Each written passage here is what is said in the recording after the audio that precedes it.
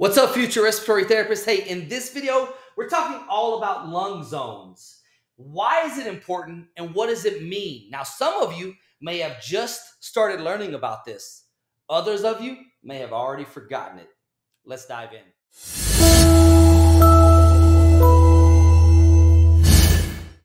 All right, so as I said, we're talking all about lung zones here today. And I want to start this conversation off by talking about why lung zones are important. What does it mean? Well, when you're talking about lung zones, you have to realize that the whole conversation comes down to VQ ratio. Nothing else more than that. Now, okay, what is VQ ratio? VQ ratio is ventilation to perfusion ratio. You see, it's very, very important that you understand that for gas and oxygen, to get into the pulmonary capillary blood flow and out to the body and CO2 to be brought back. It's very important that we understand that ventilation within the alveoli has to occur, but then there also has to be blood flow past those alveoli to pick up the gas that's coming across. And so, ventilation to perfusion ratio is very, very important when you understand that it's not just about the air that's coming in, it's also about the blood flow that's going past. So that's what ventilation is. Now, the VQ ratio, that's what the VQ ratio is. Now, when we talk about the V, we're talking all about ventilation. We talk about the Q, we're talking all about perfusion. And of course, for this conversation, when we say perfusion, we're talking about pulmonary perfusion. So is the ventilation that's coming into the alveoli being matched by perfusion of those alveoli? Now, normal, normal VQ ratio is 0.8 to 1.0. That's, this, you got to remember that, okay? 0.8 to 1.0. There are certain disease processes that will affect the VQ ratio. Some will cause the VQ ratio to increase, such as a pulmonary embolism. Some of them will cause the VQ ratio to decrease, such as pneumonia. That's another video for another day. What we're talking about today is what happens in the normal, healthy, upright individual. Because VQ ratio is a conversation for those individuals as well. And this is the information you need to be an expert, above average, exceptional respiratory therapist. Now, let's talk about this. When we talk about lung zones, there's three lung zones. There's zone one, zone two, and zone three. Now I've drawn a line here to, to differentiate them for you. So you can see that the apices are zone one, the middle portions of the lungs are zone two, and the bases are zone three. So we can we can come over here and take this another way and say apices and bases. So we understand that. Zone one is tied to the apices. Zone three is tied to the bases. So it goes one, two, three. Makes sense, right? now, what I'm about to tell you, I have no doubt you already understand if you'll just think about it from a different perspective. And here's the perspective I want you to think about it from. I have a bottle of smart water here, and it's not because I'm endorsed by smart water. Believe me, I'm not. Uh, I use this bottle because I know you're smart and and you're going to understand this as I make it out to you. Now, look what I want to point out to you. There is a line of water right here around the middle of the bottle. Okay? Now I have also divided this bottle into three different regions. This is region 1, this is region 2, this is region 3. Now when you see where the line of water is, you realize that there is more water and more fluid at the bottom of this bottle than there is at the top. Why? Now, I know what you're thinking, right? I already know the answer to this. The answer is duh, Joe. It's gravity. Gravity pulls the fluid down. You're exactly right. So what we see here in this in this bottle of water is that fluid goes down, air goes up. If I take this bottle and flip it over, fluid goes down, air goes up. 100% true. If I turn it on its side, fluid goes down, air goes up. That's the message that you need to take away from this video. Think about it as you're learning these concepts.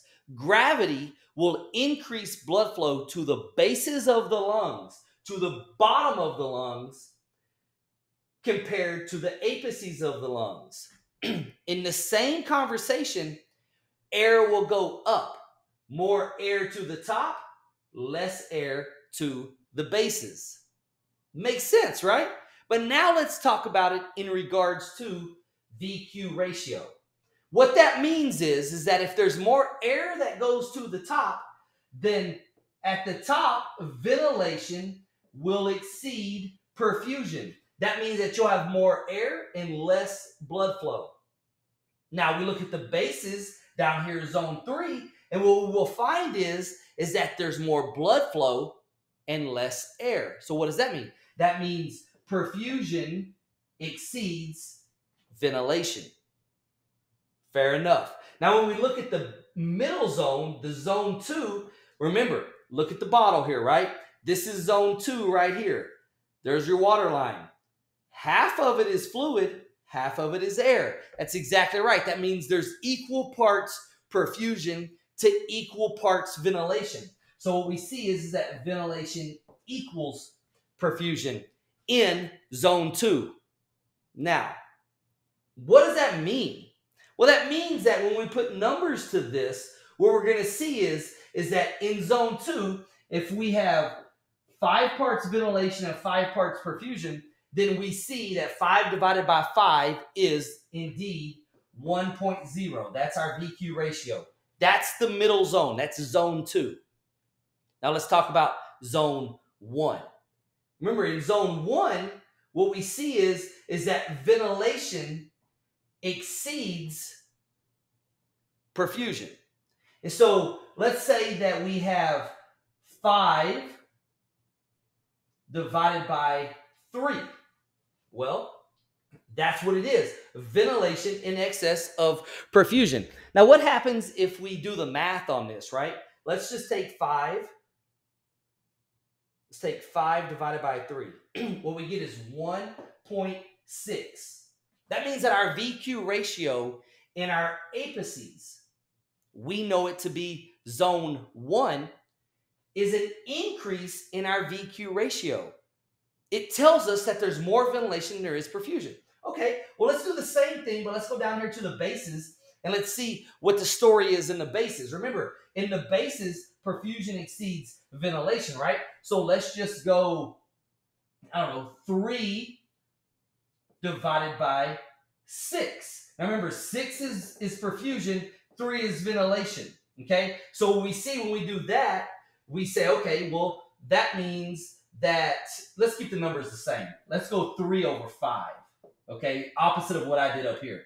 So when we do this, we say, okay, our VQ ratio of 3 divided by 5 is 0.6.